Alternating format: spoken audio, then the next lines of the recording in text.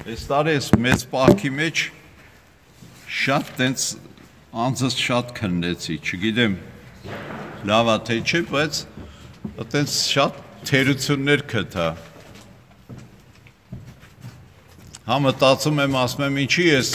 մի 10 տարի առաջ այդ թերությունները չգտա, որ վերացնեմ, ես ինչ իմանամ 10 տարի առաջ ինչ թերություններ եմ գտել վերացրել։ Այս կյանքը կոչվում է նորոգության կյանք։ Ուզում եմ այսօր մի փոքր հատված կարդամ այդ տնտեսի պատմությունից։ Հիսուսն իր աշակերտներին ասաց. Մի հարուստ մարդ կար, որ մի տնտես ուներ, ում մասին մեղադրանք լսեց, թե իր ունեցվածքը վատնում է։ Եվ նրան կանչեց ու ասեց. «Այս ինչ եմ լսում քո մասին։ Ինչ դուր քո տնտեսության հաշիվը»։ Քանի որ այսուհետ տնտես չես կարող լինել։ Սա շատ բարձրաձայն մի հատ խոսակցություն է։ Ամեն մեկիս մեր չսպասված պահին Աստված կարող է մեզ ասել. «Դուր տնտեսությանը հաշիվը» տուր տնտեսությանը հաշիվը։ Այսօր մենք մի քանի տնտեսների մասին պիտի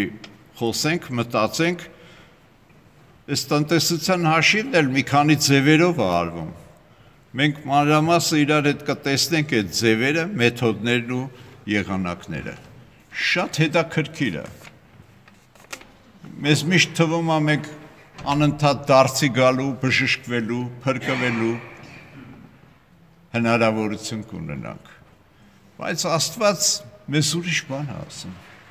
Մեզ ասում է ցանկացած ժամանակ, ցանկացած պահին կարող են հնչել այդ խոսքերը. «Տուր տնտեսությանդ հաշիվը»։ Եվ առաջին մարդը, որ տնտեսությունից հաշիվ պահանջվեց Ադամն էր։ Ադամն ու Եվան Աստված նրանց տնտեսություն էր տվել։ Հիշում եք, երկնքում թրջող թրջունները գետնի վրա եղող գազանները, սողացողները եւ ջրում եղող անասունները։ Նրանց վրա պիտի ղեկավարեր, իշխեր Ադամը։ Եվ ահա տարօրինակ մի բան է կատարվում։ Փոխանակ ինքը իշխի, Այդ իր ստորադասներից, ղեկավարվելիքներից մեկը գալիս է իրան կյանքը սովորացնում է։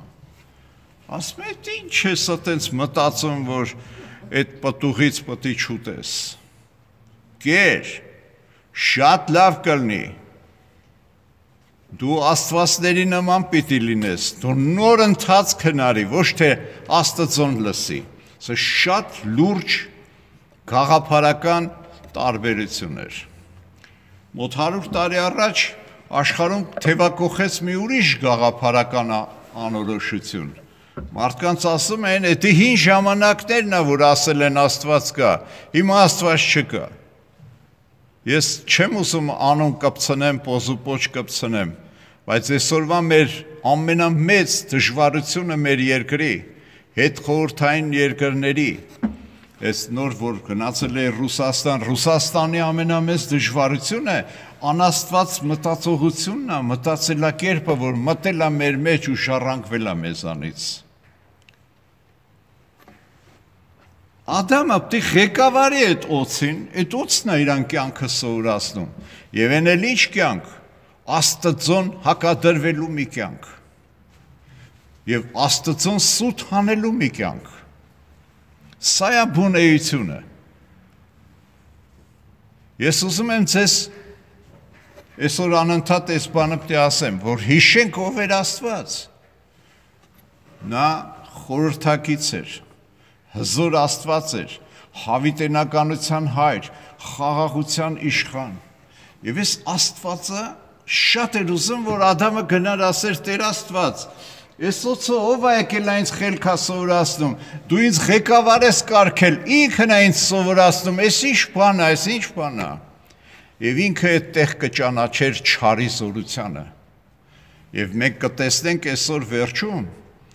7-ը մեծ խորհուրդներ է տալիս եկեղեցին տնտեսի օրվա արդիվ։ Եվ այս 7 խորհուրդներից մեկը սա ասում է չարին հակառակ մնա։ Սա շատ մեծ խորհուրդ է։ Եվ ես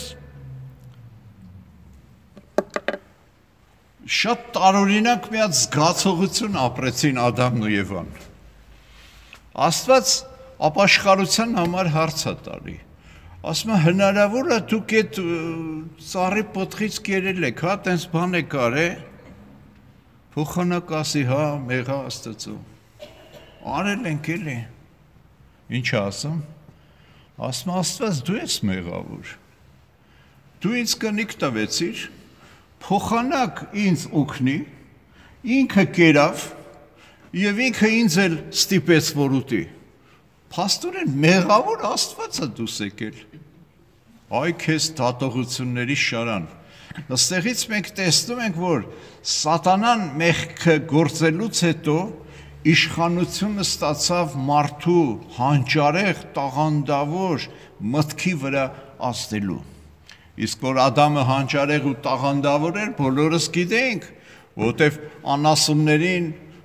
թրջուններին անուններ էր տնում։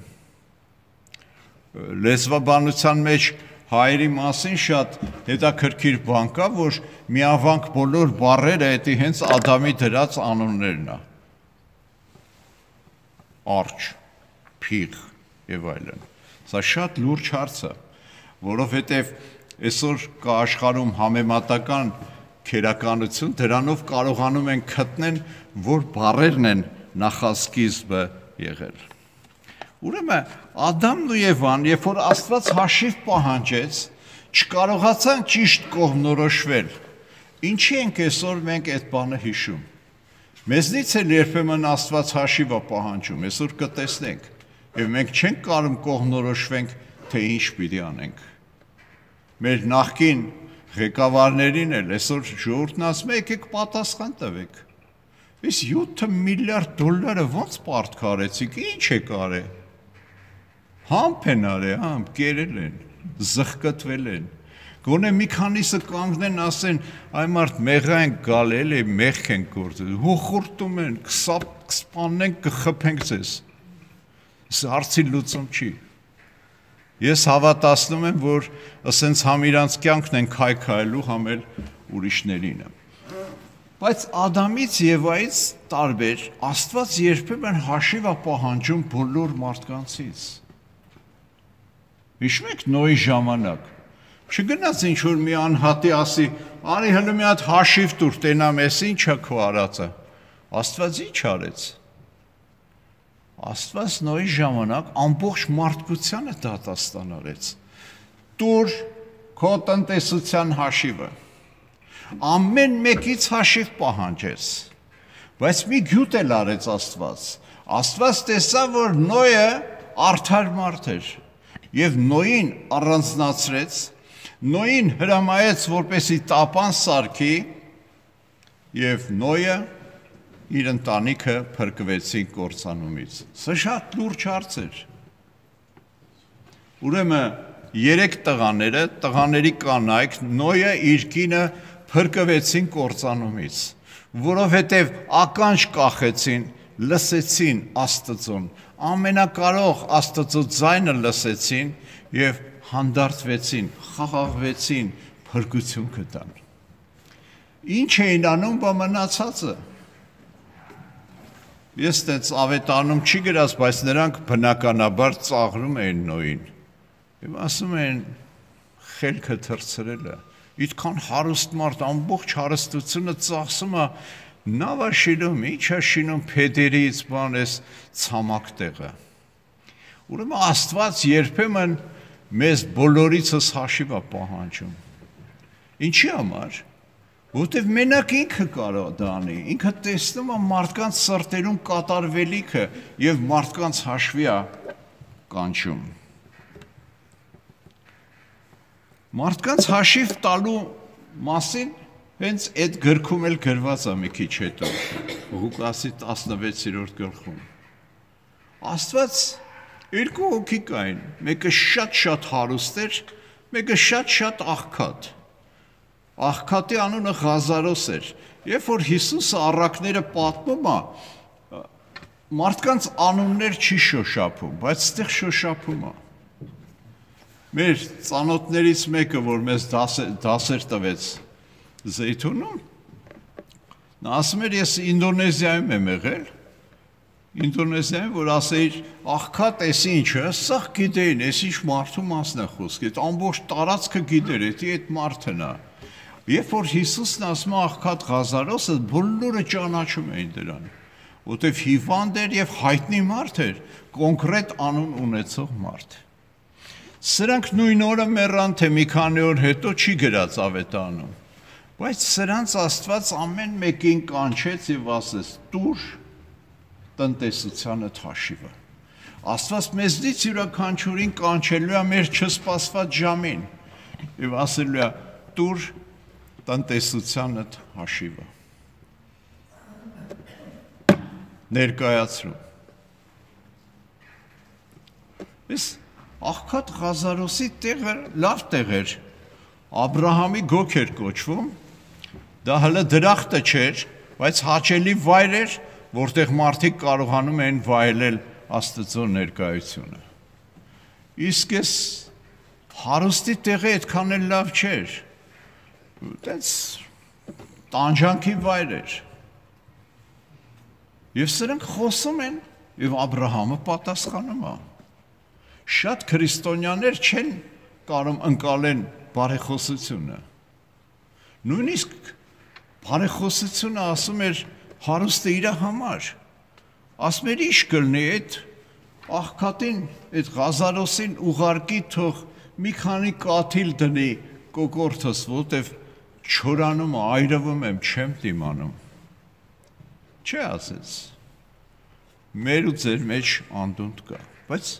հետաքրքիր է որ այդ ծանր պատժի վայրից հարուստը կանչում է եւ Աստված լսում է Աբ รา համը լսում ու պատասխանում է հաջորդն ավելի համամարտկային արժեք ունեցող խնդրանք էր այս հարուստի ասում ես 5 եղբայր ունեմ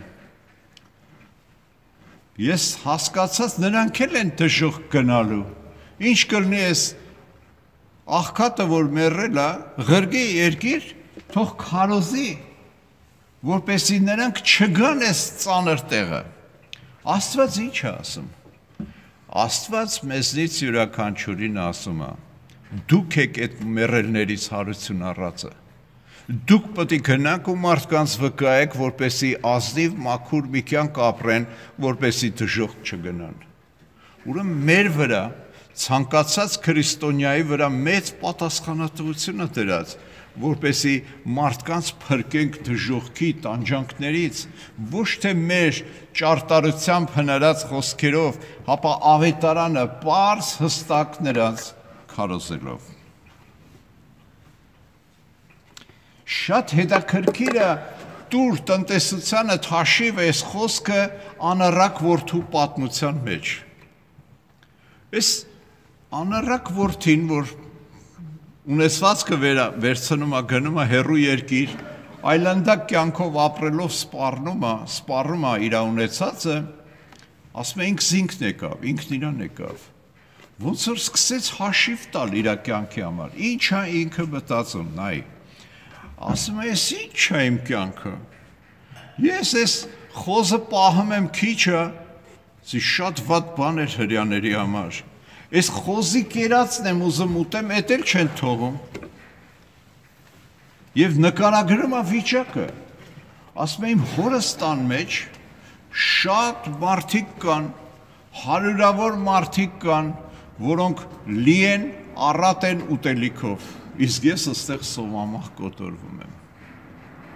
Եվ այս հաշիվը սկսես տալ իր խղճմտանքի եւ Աստծո ներկայության մեջ։ Սա շատ հետաքրքիր բան է։ Եվ այս հաշիվը իրան օգնեց զղջաց հետո ապաշխարության քայլ արեց. Վեր կենամ գնամ հորս մոտ որովհետև Աստված ցանկացած րոպեին յուրաքանչյուրիցս կարող է ասել դուր քո տնտեսության հաշիվը հետաքրքիր է։ Ինչ հաշիվ պետք է տանք մենք։ թե բարոյական, թե ֆիզիկական, թե հոգևոր, թե նյութական հաշիվ պիտի տանք Աստծուն։ Եվ ես այս տղեն եկավ պատմությունը ինձնից լավ գիտեք հայրը դուրս եկավ սրան համբուրեց գրկեց սրան մատանի դրեք մատը այն շքեղ պատմուճանը բերեք հագցրեք կոշիկներ տնեք ես ուրախ եմ ասում էր հայրը իմ ես որդին մեռած էր կենթանացավ կորած էր ու գտնվեց իմ սիրելի եղբայր եւ քույր այսօրվա այս տուր տնտեսությանը հաշվի համար տնտեսի Կիրակին Աստված մեզ ասում է. ձեր հայրը սիրող Աստված է, ձեզ շատ սիրող Աստված, ձեզ ոչ ոք այդքան չի սիրում, ինչքան ձեր հայրը, երկինքն ու երկիր ստեղծող Աստվածը, ցանկացած պահի, ցանկացած իրավիճակում դու կարող ես գնալ իրան խնդրել եւ ինքը կների քո մեղքերը քո անօրենությունները կջնջի, քո հանցանքները բնավ չի հիշի, գնա Աստծո մոտ, տուր տնտեսությանը թաշիվը ամեն պատե առիթով հետաքրքիր էր այդ ավակ որդին։ Ինքը չեր էլ քննարկում իր կյանքը, բայց հանգամանքները բերումով ի հայտ եկավ, որ էսի հիչ եղբայրական զգացում չունի։ Հերն ասում է այդ տղա մեր էս եղբայրդ կորած էր գտնվեց, մեռած էր կենթա, իր հեչ վեճը չի, չի էլ ուզում տուն մտնի։ Իր հորտան մեջ բաներ է կատարվում, ծառաներից է հարցնում։ Այդ տղա հեչ դու չես հասկացել, որ դու տղա ես։ Սիրելի եղբայրներ եւ քույրեր, այս նույն դժվարությունը ես ու դու ունենք։ Մենք հələ չենք հասկացել, որ այս միլիարդավոր աստղեր, գալակտիկաներ սարքող Աստվածը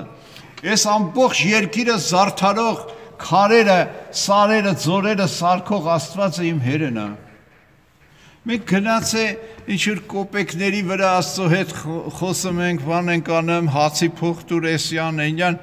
Աստված ասա ձեր խիղճը կտրվի, հա։ Բա դուք չեք տենում այս միլիարդները, որ ես ունեմ։ Այս հարստությունը ես ձեր հերն եմ։ Մենք երբեմն շրթունքներով ենք հավատում, որ Աստված մեր հայրն է։ Գործնական կյանքով կարծես թե ուրանում ենք նրա գոհությունը։ Տերը թող մեզ ողորմություն անի։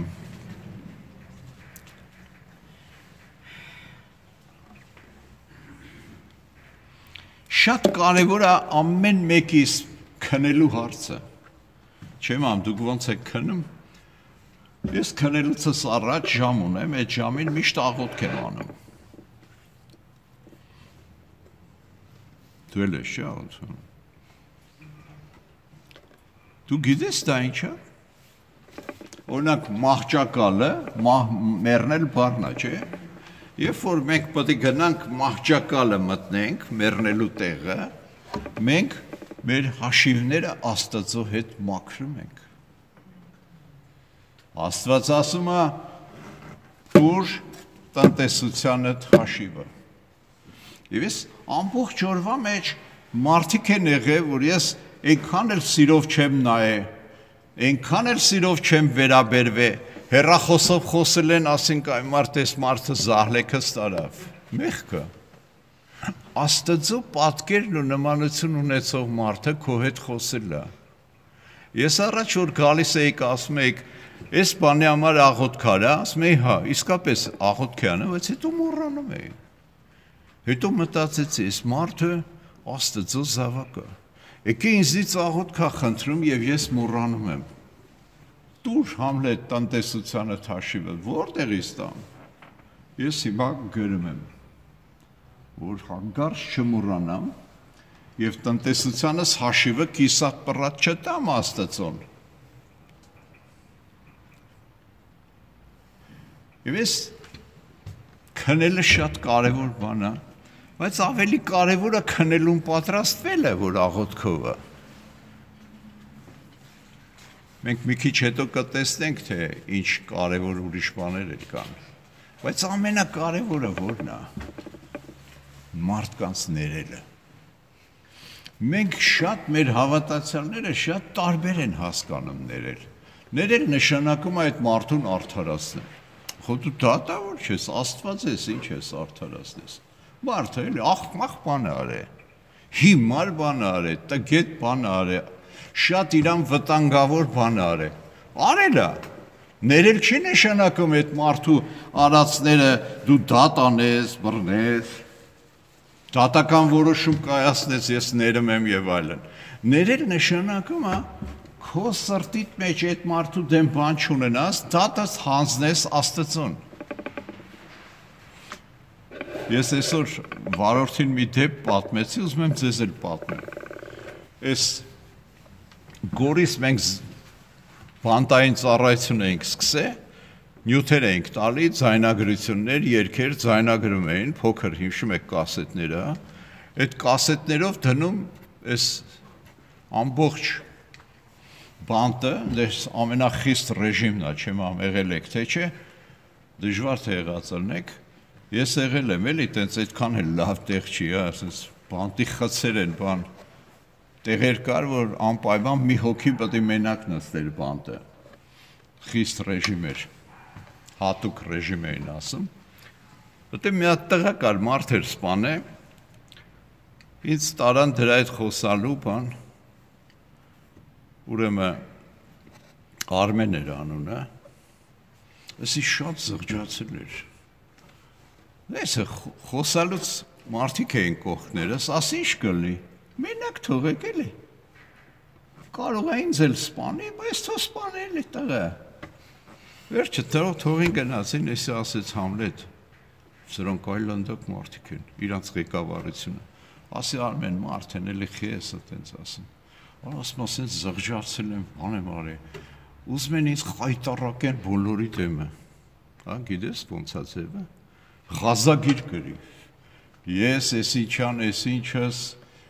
իմ կյանքումս էս բանտապետին, տեղակալին պետք է ինչ ասեն անեմ, բան, ասենց ղազագիր էր կոչում։ Վերջը ինձ տարան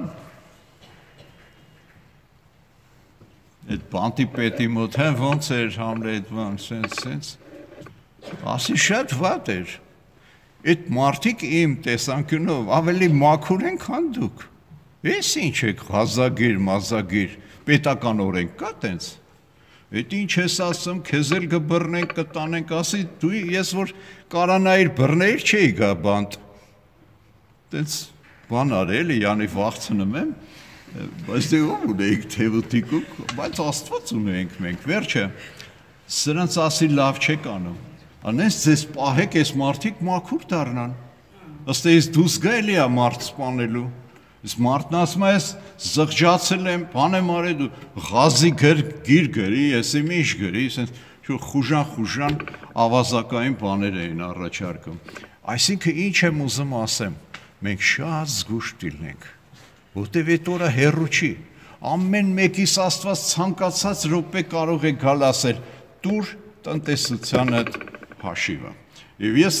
շատ պատասխանատվությունս այսօրին վրայից գցում եմ ձեր բոլորի վրա։ Քնելուց առաջ բոլորս նայենք, մտածենք, տեսնենք ում ենք ինչ արել, ներողություն խնդրենք նախ Աստծոց, հետո այդ մարդուց, հետո մեր տնտեսության հաշիվը Աստծուն տանք։ Սա շատ լուրջ հարց է։ Երևի ես հարուստը գիտես ինչ էր մտածում, ասում էր դե ջայլ տղա եմ, այսքան փող ունեմ, աշխարհի ամենալավ բժիշկները իմ մոտ են գալիս, ոչ թե ես եմ գնում բժշկի, բայց հələ կապրեմ, ինձ կարիք չկա, որպեսի ես ինչ որ քայլեր անեմ, թող իրանք անեն։ Բայց մեկ էլ հնչեց Աստծո դատող ձայնը՝ դուր տնտեսությանը թաշիվը ամեն օր քնելուց առաջ իրար խոստովանենք, Աստծուն խոստովանենք մեր սխալներն ու թերացումները, որպեսզի ներողություն գտնենք, կարողանանք հանգիստ քնել։ Տերը մեզ Սուրբ Հոգի զորությունով քայլելու, ընթանալու շնորհ կանի։ Ամեն։ Այսօրվա եկեղեցու Եփեսացի ուղերձը շատ հետաքրքիր բան է ասում։ Քրիստոնյաներին նամակ է գրում Պողոսը Սուրբ Պողոսը ինչ է ասում, գիտեք, ճամոտ բաներ է ասում։ Ես չեմ ուզում բանանեմ, բայց քրիստոնյաներին ասում։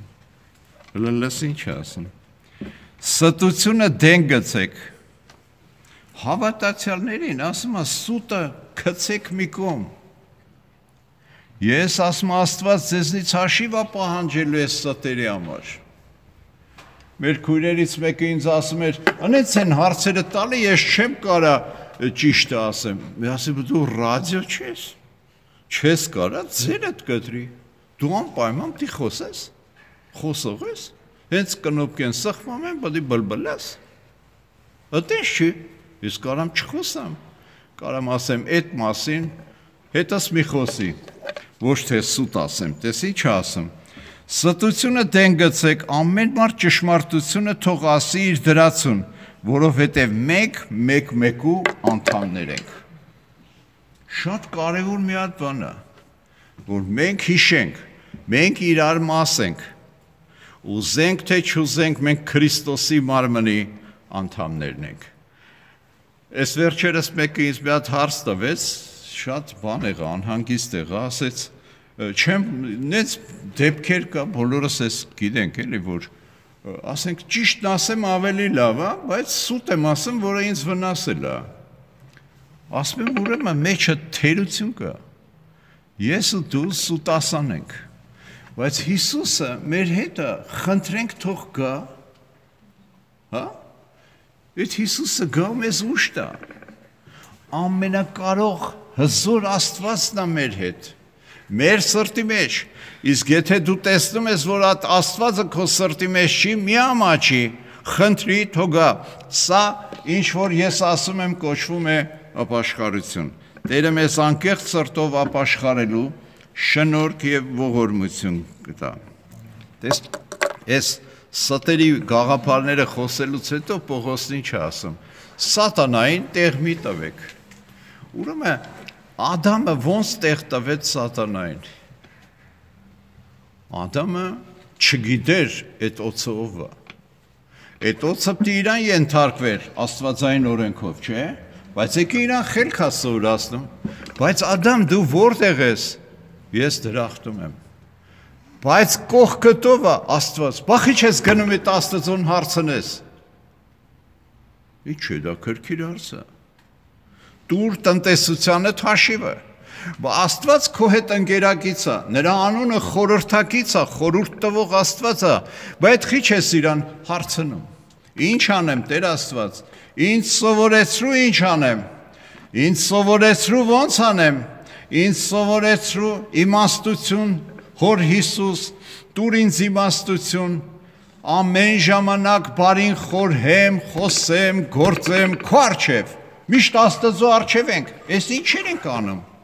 Եվ Աստծո խոսքը մեզ հրահանգներ է տալի, ասում զգուշ մնացեք։ Ավելի վատ բաներ ասում քրիստոնյաներին, այ ով գողանում էր, թու այլևս չգողանա։ Ընթակառակը աշխատի իր ձեռքերով եւ բարին գործի, որպեսի կարողանա կարիք ունեցողին տալ։ Աստծո խոսքը մեզ ասում է, որ տնտեսությանը հաշիվը տալու համար դու պետք է ներկայանաս Աստծո առաջ Եվ Աստված պետք է քեզ ասի, դու ինչ տվեցիր ուրիշի։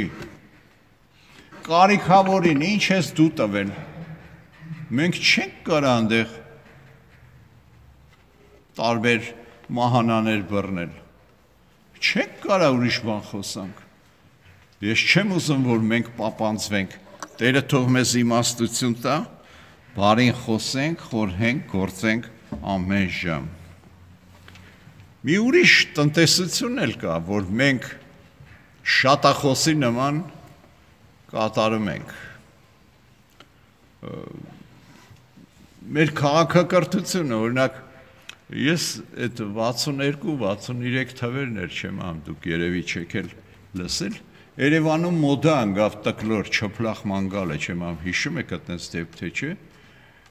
մի քանի տեղ աղջիկները տկլորվել էին լրիվ մերկ բարձացե տրանսպորտ տրոլեյբուս, ավտոբուս եւ մի կանգառից հետո իջել էին սրանք ուզեցին այդ մոդան տանեն չեղավ բայց հիմա մենք Համարյա մերկ տենում ենք հերոստացույցով ու նայում ենք եւ այդ մերկությունը մեզ չի զարմացնում, չի սարսափեցնում։ Այդ մերկությունը մեր համար շատ սովորական է։ Ճիշտ այդ ձևի մեր խոսվածքն էլ է, նայ, դες ինչ ասում երբեք ձեր բերանից ապականող խոսակցություն դուրս չգա։ Ինչ այլ ինչ շինության համար է բարի ու պիտանի է, որպեսի լսողները շնորով լցվի։ Այ դու հələ մի հատ մտածենք ով ենք մենք, ումա գրում էս Պողոսը։ Այս Պողոս Սարաքյալը գրում է քրիստոնյաներին, Եփեսոսում եղող քրիստոնյաներին Սրանց ասում են, դուք ճիշտ հասկացեք իրար։ Ձեր մեջ Քրիստոսը կա։ Դու կարող ես խոսելուց այն մյուսի շնոր շնոր դաս հաղորդես։ Խոսում ես կարճ, համառոտ, գեղեցիկ եւ այդ խոսքը կարա այն մյուսին շնոր հաղորդի։ Բայց ես ո՞նց է դու sense ապականող, կեղտող, մունդար հայերեն ասած ախմախ բաներ ես խոսում։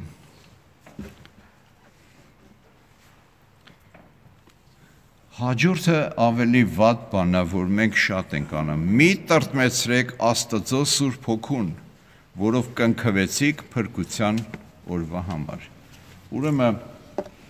ես իմ մկրտության օրը հիշում եմ, որտեվ 24 տարեկան էի, երբ որ մկրտվելուց հետո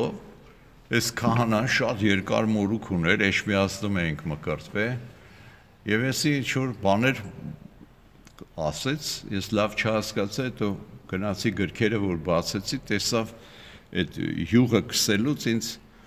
Աստծո Հիսուսի Սուրբ հոգիով կնքվելու արտաքին նշանն էր մերոնը։ Ուրեմն ես այդ Սուրբ հոգիով կնքվել եմ։ Հետագայում, երբ որ 76 թվականին ապաշխարեցի, ես վերականգնեցի այդ մկրտությանը սուխտը եւ դարձա Աստծո զավակ եւ կնքվեցի դարձյալ, հա, Սուրբ Հոգիով, լցվեցի Սուրբ Հոգիով։ Եվ հետո հիմա ինչ է ասում ինձ Աստծո խոսքը։ Աստծո խոսքը ինձ ուրիշ բան է ասում։ Դուք կարող եք տրտմեցնել Սուրբ Հոգուն։ Մեր կյանքի ընթացքը այնպես պիտի լինի, որ մենք տրտմեցնենք, չտրտմեցնենք, զգուշ մնանք մեր մեջ բնակվող Սուրբ Հոգուն մենք չտրտմեցնենք մի քիչ էլ որ համը հանենք, ոնց որ սավուղը, Սուրբ Հոգին գթողի կգնա։ Չափ ունի ինքը Աստված։ Հիշում եք Կորինթացի սուղերձի մեջ ասում է, «Էս էս էս էս բաները, հա, ովքեր անում են, երկինք չպետք է գնան, թող ոչ ոք ձեզ չգա քարոզներով խապի։ Ինչ ուզում եք արեք, երկինք պիտի գնաք, դες քարոզ չկա»։ Ուրեմն ապաշխարությունը շատ ավելի լուրջ բան է, քան մեզ թվում է։ Թող ձեր միջից վերացվի ամեն դառնություն, բարկություն, զայրույթ, աղաղակ, հայհոյություն, իրենց չար հետևանքներով հանդերձ։ Օրինակ, այդ ոնց է Աստծո հոգին գալիս է մեր մեջ, ես երբեմն իրադրությունների վիճակով կարամ տրտում ելնեմ, բայց ուրախ չեմ։ Ոնց, խի։ Ես քեզ հարց եմ տալի, ասում եմ, ինչի։ Հորքուրիս տղեն ա մեռե, այս ինչ է, միշտ էլ մեռնում են։ Մենք չենք ասում մեռածների համար մի տրտմեք, մենք պետք է տրտմենք։